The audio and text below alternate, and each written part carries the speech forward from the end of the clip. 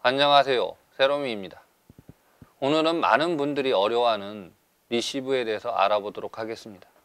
많은 분들이 좌우 회전과 하회전이 섞인 리시브를 어려워하는데 오늘은 강력한 토마호크 서비스를 구사하는 딩링의 서비스를 졸링 선수가 어떻게 리시브를 하는지를 알아보도록 하겠습니다.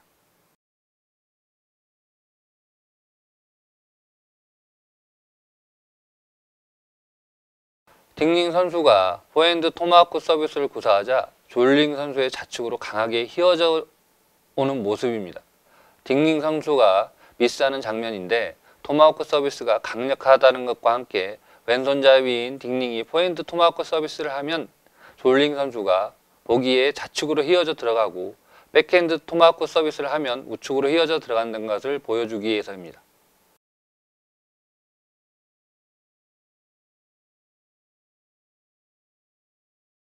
이번에는 딩링 선수가 백핸드 토마호크 서비스를 할 때 졸링 선수가 리시브하는 장면 두 개를 보도록 하겠습니다. 먼저 딩링 선수가 토마호크 백핸드 서비스를 포핸드 푸시로 리시브했는데 미스를 합니다.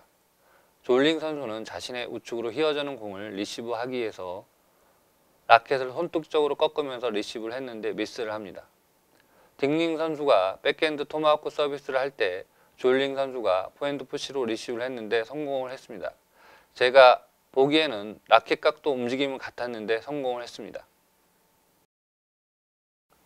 제가 이 이야기를 먼저 꺼내는 이유는 리시브 할 때 라켓 각도만 신경 쓰지 말라는 겁니다.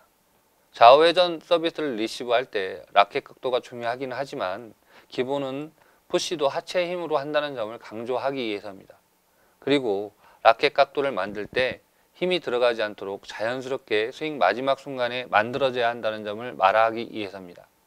탁구의 모든 타격은 하체에서 만들어진 힘이 상체와 팔로 전달이 되어야 합니다. 리시브를 위해서 라켓 각도를 만들 때도 자연스럽게 만들어지도록 해야 합니다.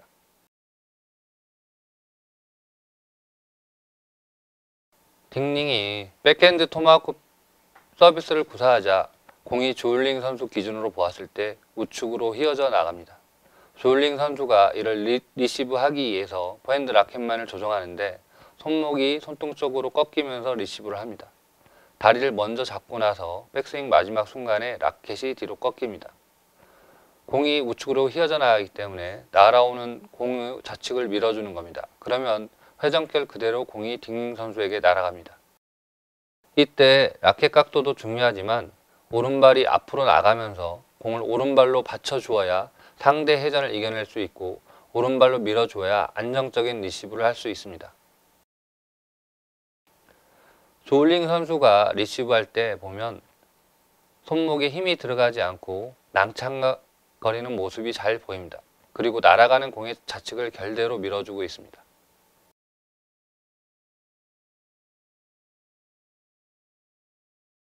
딩링 선수의 백핸드 토마호크 서비스를 졸링 선수가 백핸드 푸시로 리시브를 하는데 졸링 선수가 보는 방향으로 우측으로 휘어지기 때문에 공의 좌측면을 밀어주기 위해서 라켓 헤드가 앞으로 가 있습니다. 포핸드 푸시 리시브 할 때는 라켓 헤드가 뒤쪽을 향하는 데 반해서 백핸드 푸시로 리시브 할 때는 라켓 헤드가 앞쪽으로 향합니다. 화면을 보면 알겠지만 포핸드 푸시를 받을 때와 백핸드 푸시로 받을 때 라켓 헤드 방향이 달라지는 것을 알 수가 있습니다.